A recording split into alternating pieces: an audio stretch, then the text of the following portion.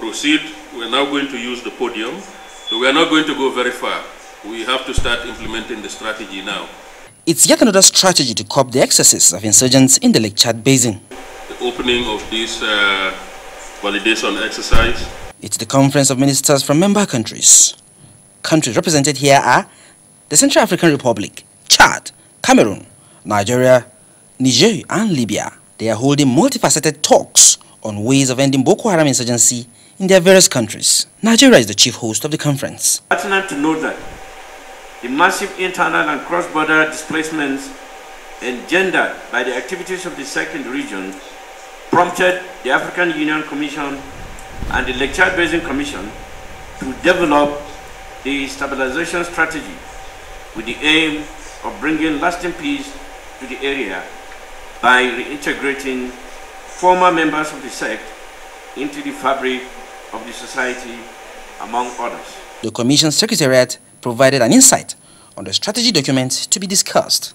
With this high-level political buy-in, it is our wish and hope that each of the affected countries will be ready to embrace and implement the strategy without any delay.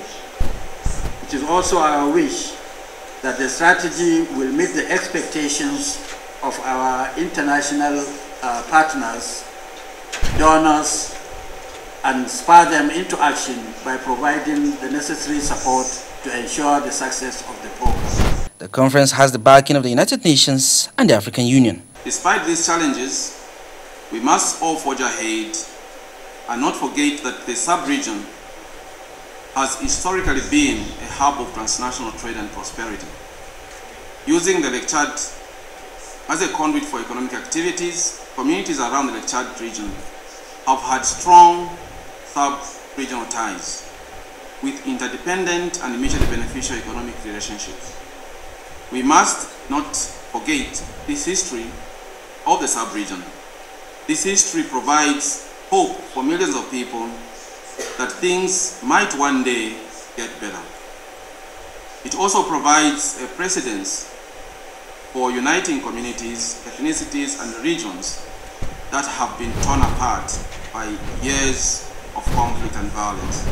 For us, it is very, very important as part of our prevention, uh, conflict prevention and conflict management, for us have this strategy and we really thank our partnership with the United Nations uh, in this.